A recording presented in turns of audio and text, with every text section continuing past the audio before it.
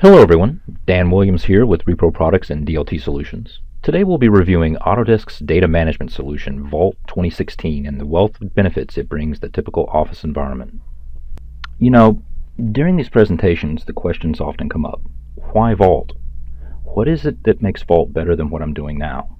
Well, if you're like most organizations, you're simply saving your files to a network drive and you've just accepted the limitations that result. As opposed to a network file system, Vault offers an unlimited number of data fields with which to describe your files, far more options to secure users' access to them, a true check-in check-out system which, among other things, prevents simultaneous or redundant modification of documents, automatic retention of previous document versions, and, unlike the vast majority of other document management systems, Vault is aware of the complex relationship that potentially exists among files it can actually manage and repair the links that exist, for instance, between emails and their attachments. Finally, if you're like me, it helps wean me from my dependence on Outlook to manage files that I've been sent as attachments. Admit it, how many of us have returned to the same email over and over again to find a file someone sent as an attachment? But more on that later. If you are simply saving files to a drive, then you really only have two tools for communicating everything someone might need to know about your documents. One, obviously, is the file name. Organizations expend a great deal of time and effort just formulating all-encompassing naming conventions for their files. The other is the folder's names and their structure.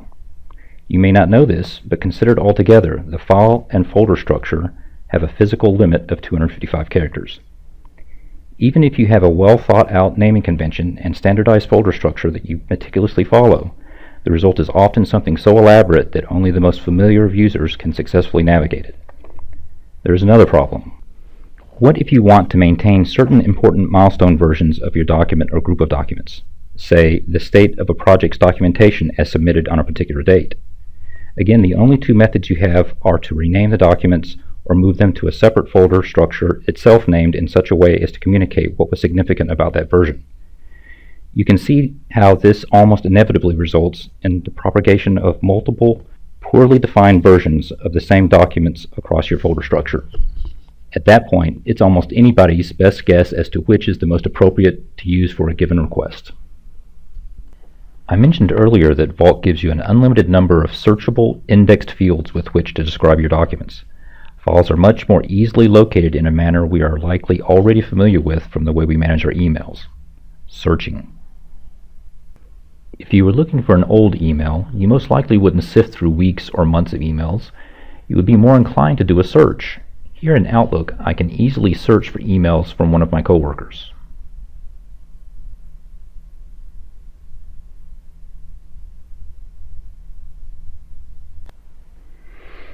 The same applies to Vault. Searching is a much more efficient method of locating documents. Instead of just searching for the folder or file name the way you would in a file system, Vault allows you to search and sort based on much more descriptive fields.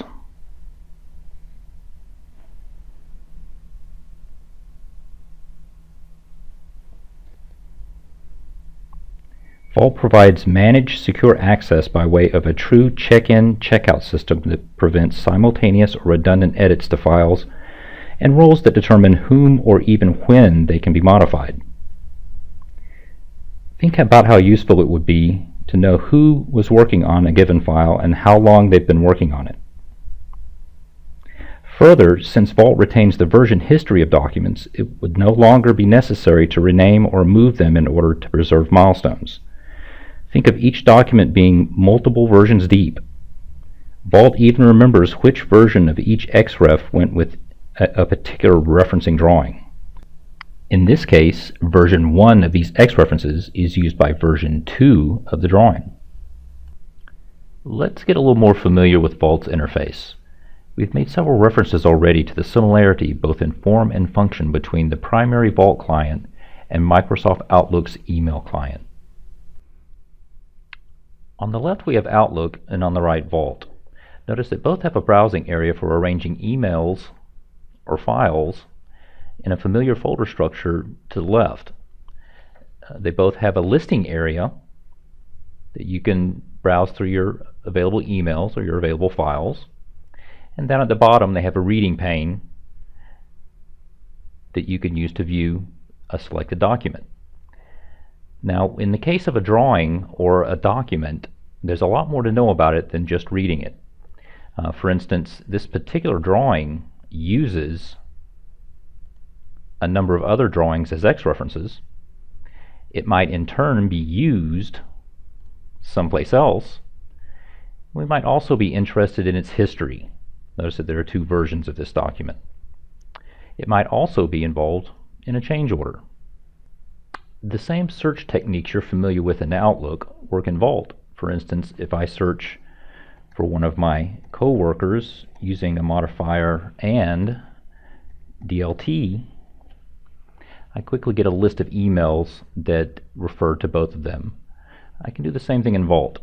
For instance, if I search for any document that Bob is associated with and involves construction, I quickly narrowed my search down to a single document. Something I like to do a lot in Outlook is to customize the email property grid. You can easily do that by right-clicking over any column and using the field chooser uh, to add another column, let's say recipient name. And in this way, you can display who the recipient is uh, as well as who the email is from. Well, the same thing is true of Vault. Of course, Vault has a lot more properties uh, that we can associate with individual documents than, um, than Outlook does.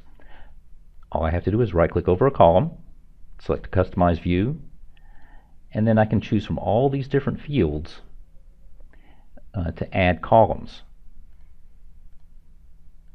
I can move them up and down in the list.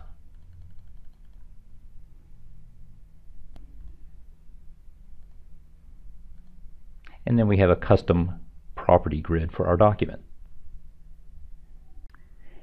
In fact, most of the tricks and techniques you know and value from using Outlook will work in Vault as well.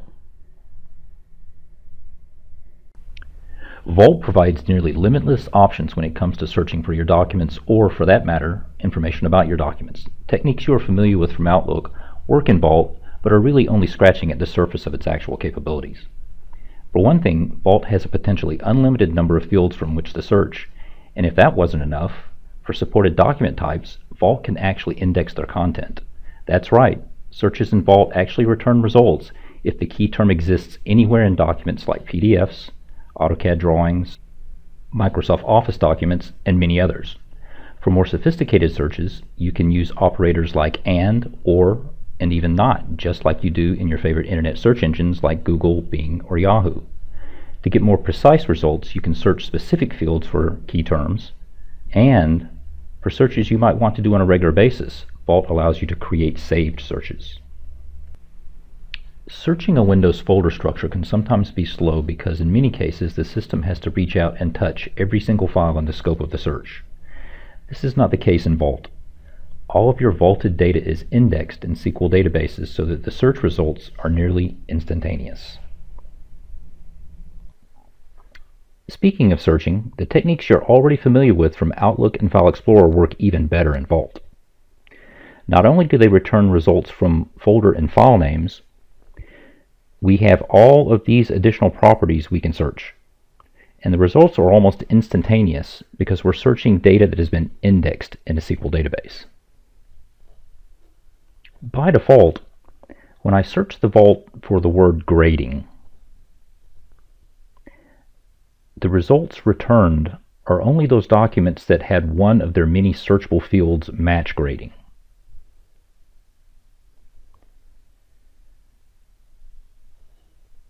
But it gets much better than this. Vault can actually index the content of documents. If I enable content searches and repeat the search, you can see I get many more hits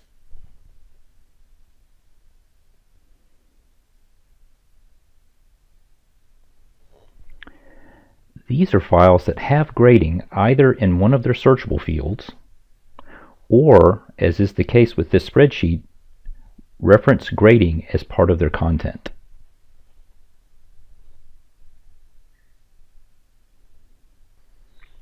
If what you desire are more precise results, Vault allows you to search specific fields for values. Our previous searches searched all available fields and content for the word grading. Here I am searching specifically the author field for Levy and only the file name field for the word grading.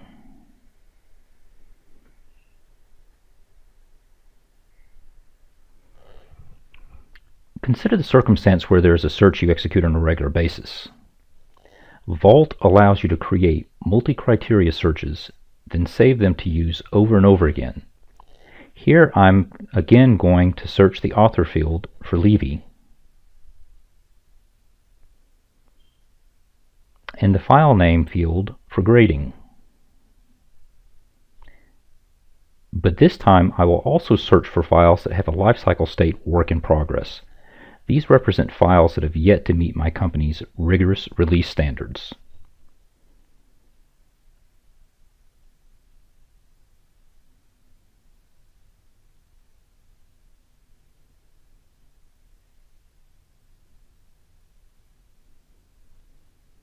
And then I'll save this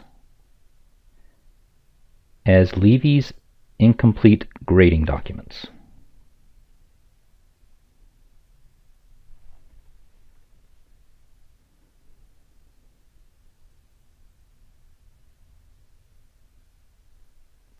And you can see the results.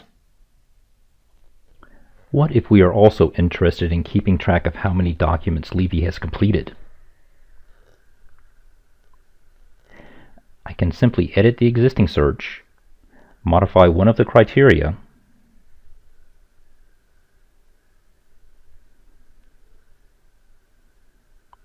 and save the search to a new name. We'll call it Levy's Complete Grading Documents.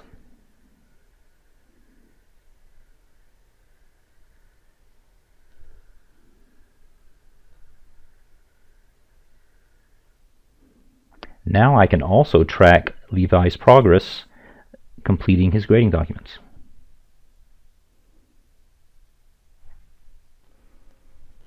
It is important not to underestimate the value of these results.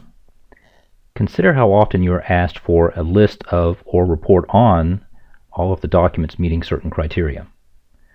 We have already seen how easy it is to customize the property grid. The search results can be exported to Excel for further formatting.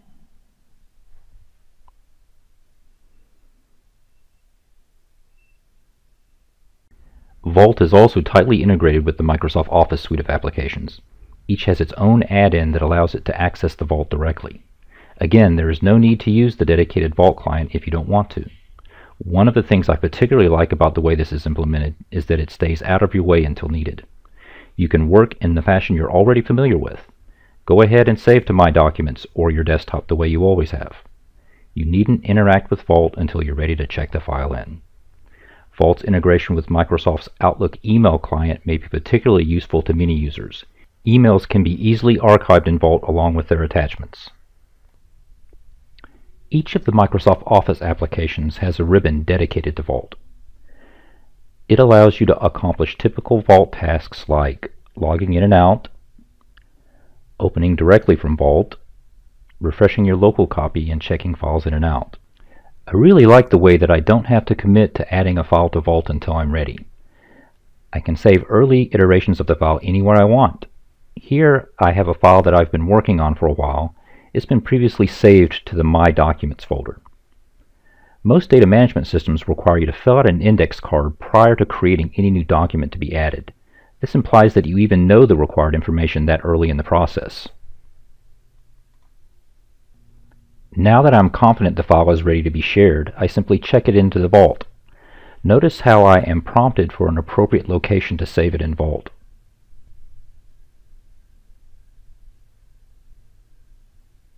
I'm given the opportunity to add comments describing what is unique about this version.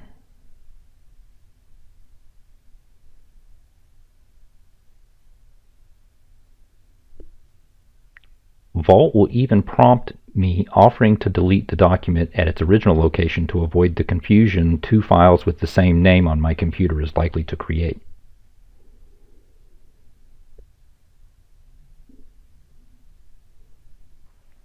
In today's world, often an email could be thought of as almost a contract.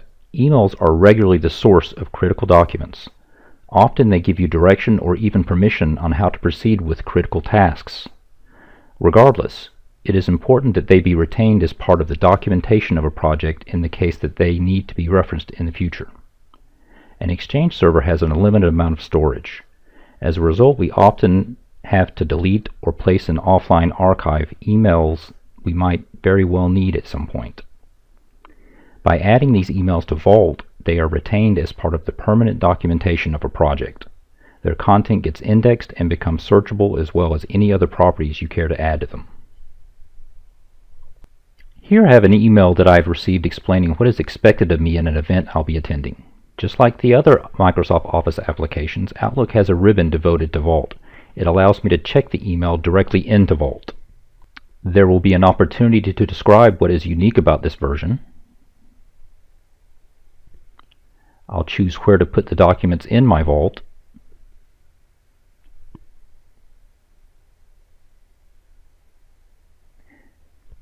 Notice that the attachments are along for the ride.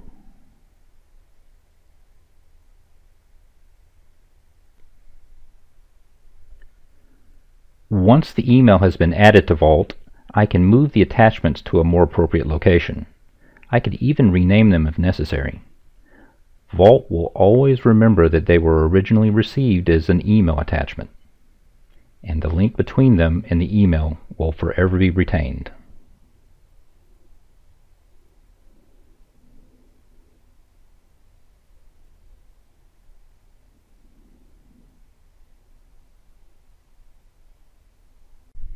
We are already aware that Vault allows us to assign an unlimited number of properties to our documents. Editing those values could become very tedious. Fortunately, Vault allows us to edit multiple data fields across many files at once in a familiar spreadsheet-like format. When you combine that with the fact that the fields can be linked to the content of documents, you get a very powerful method for updating that content and making sure that related documents, say all of those associated with a single project, are uniformly modified. Simply select a range of files, either from a single folder or perhaps from the results of a search. Then select the properties in the property grid you want to modify.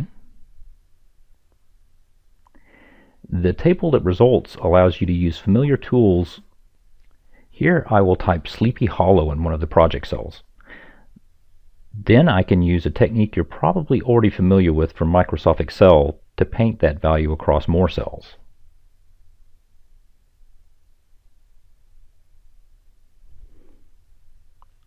I'll do the same for the manager field. We'll make Ichabod Crane the manager for this project.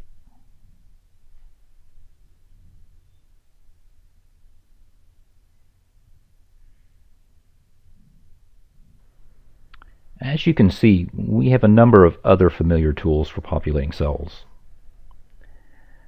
Once I select OK, the files are updated. If those fields are linked to content in a document like attributes in a title block, they will be updated automatically. The ability to check documents in and out is fundamental to document control. Preventing simultaneous or redundant document revisions could really be considered the least of its benefits. With Vault, checking in a document gets you a local copy and marks the document as reserved by you on the server. Checking the document in versions the document while retaining the previously checked in versions. This synchronization between Vault and the user's local workspace has a number of benefits. Unlike most document management systems, Vault does not require the user to maintain a continuous connection with its server. You can check the document you need out, unplug from the network, and travel offsite if you wish. Just plug back into the network when you return and check the files back in.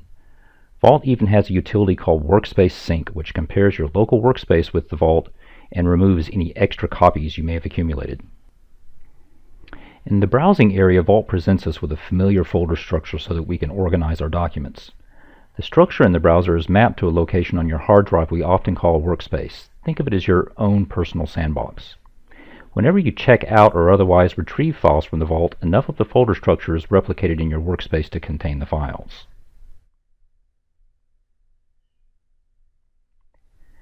Files you have a local copy of have a bubble in this column. Clear bubbles mean your local copy is identical to the latest version in Vault. A check mark means that it is checked out to you. Green means that your local copy is newer than the one in the Vault. These and other indicators mean you will always know what the status of your local files are relative to the most recent versions in Vault. Inevitably, you will accumulate out-of-date files in your workspace. With Vault, this is nothing to worry about because of a feature called Workspace Sync. This feature compares your workspace with the most recent version of all the documents in Vault, and based on a number of criteria suggests files that should be automatically deleted. Thus you are assured that the copies of files in your workspace are always up to date. One of the most challenging aspects of managing documents is their efficient reuse. We've previously discussed some of the issues related to renaming files in a regular file system. When you add the requirement of copying and renaming multiple files, those issues compound exponentially. Vaulted files can be copied en masse. Vault provides tools for renaming them during the process that will automatically add a desired prefix or suffix, or you can execute a find and replace. Uniquely, Vault will automatically repair any cross-references it encounters. Consider the case where we have a project folder with a variety of file types. My intent is to copy files from the Brigadoon construction project to its maintenance project. Some of the files should be copied to new names so that ongoing modifications during the maintenance of the property does not update construction documents of record. Other documents should simply be reused because, while they're still important to the maintenance project, they will only be included for reference and will not be modified. I can begin by simply selecting some of the files I want to copy and using the context menu to copy design. This launches a standalone utility which allows me to specify which actions will be taken.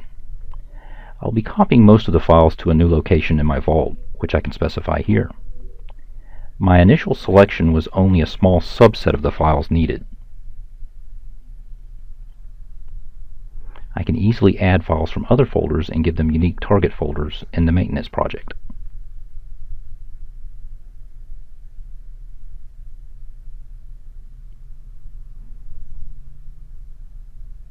It makes sense for me to include files from the spill control and communications folders as they are relevant to maintenance.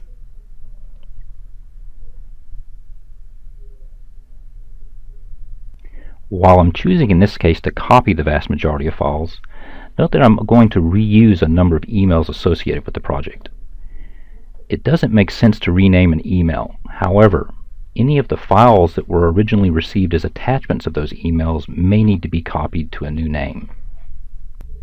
I'll give them a target folder called Utilities.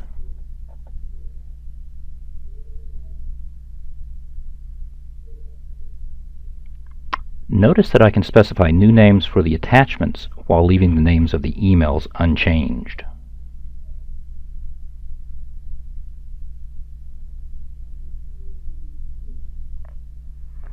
I can confirm which files are, uh, will be getting copied and which will be reused. Then I can use a variety of tools to rename all of the files at once. In this case, I will do a simple find and replace of instances of the word Brigadoon and replace it with the word Brigadoon Maintenance.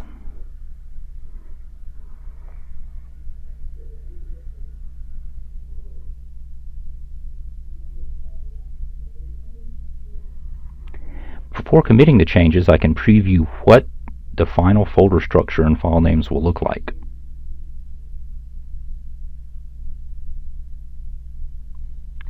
Once I'm satisfied with the settings, I'll hit the big blue arrow to execute the copy design. The process takes place on the server so that even when I'm manipulating very large data sets, no local resources are consumed and I can continue working.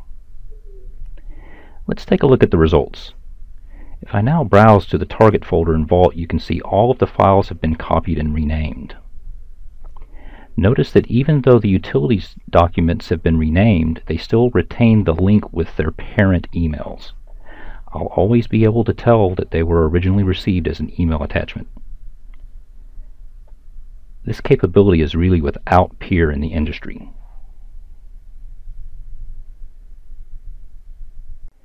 If you have seen the segment on copy design, then you know what a powerful feature that is. but sometimes you simply want to rename files that already exist. This could be due to a variety of reasons, not the least of which is that among many organizations, the final name of a document isn't assigned until very late in the release process. Vault has a utility that not only allows you to rename multiple files at once using methods like find and replace, it actually repairs any document cross-references it encounters during the process. Here we have a folder full of documents that were originally received as email attachments. Vault is aware of the relationship between the documents and their parent emails.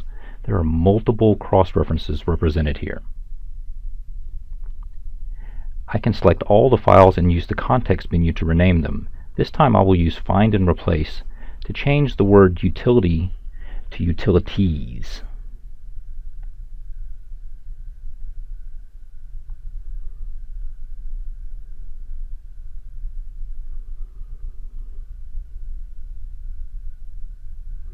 I'll also use it to get rid of the word new.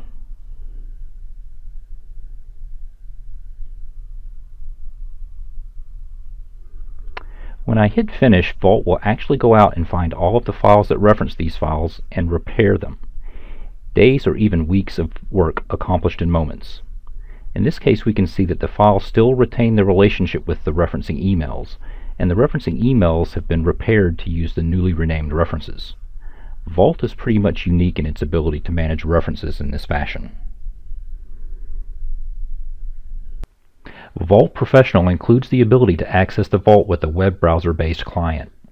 Regardless of the number of Vault licenses you have, an unlimited number of users can access your Vault to view, print, and mark up documents via web browsers like Internet Explorer, Chrome, Firefox, and Safari. Though not designed to, it even works in the browsers of many mobile devices. If you currently use dedicated seats of AutoCAD, AutoCAD LT, or other CAD products for these purposes, it's very possible that Vault could make them unnecessary. Since it's based on a technology most users are already familiar with, and takes full advantage of common browsing techniques like internet favorites and copy-pasting web addresses, your users should immediately feel right at home with little to no training. Equipped with only the appropriate credentials and a simple web browser, I can access my Vault. This client is designed to provide read-only access. With it, I can quickly and efficiently browse Vault's folder structure. It is capable of the same sophisticated searches we saw earlier from the primary Vault client. In fact, a search we used earlier returns the same results. Notice as I mouse over a document in the list, controls are exposed. I can use them to preview a document or download it. Downloading works precisely the way you would expect it to based on your internet browsing experiences. Files you download are read-only, discouraging you from saving them with their original names. These search results, just like everything else in this client, is a URL. You could easily copy the address and send it to someone else in an email, effectively giving them the list without a single file being sent. If I browse to a document's homepage, you can see that in addition to the thumbnail, I can review the document's properties. I can view its version history and see any other documents it references. In this case, this is an AutoCAD drawing with two X references. If I select one of the X references, I am transferred to its document homepage,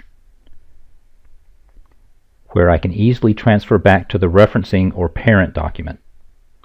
If I select to preview this AutoCAD drawing, a full feature viewer is launched in another tab.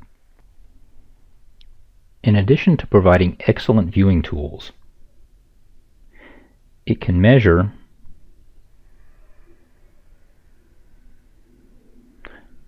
or even print the document.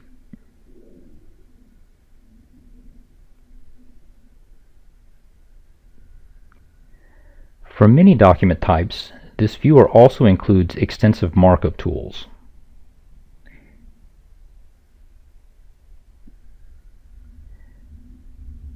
Just one suggested scenario has me making a note on the drawing, saving my markups,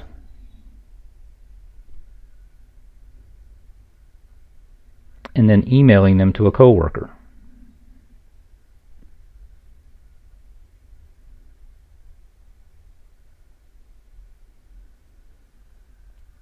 You can imagine all of the potential workflows these tools could support.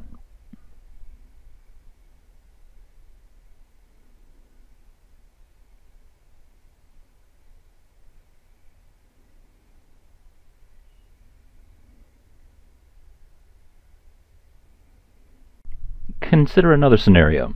This time I'm an inspector who needs to fill a PDF form during a walkthrough. I can use the browser-based client to simply download the form which I can fill right in the browser window.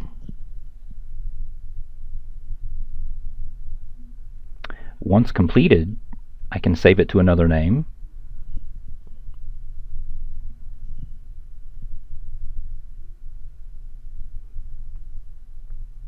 print it or share it using any one of several options.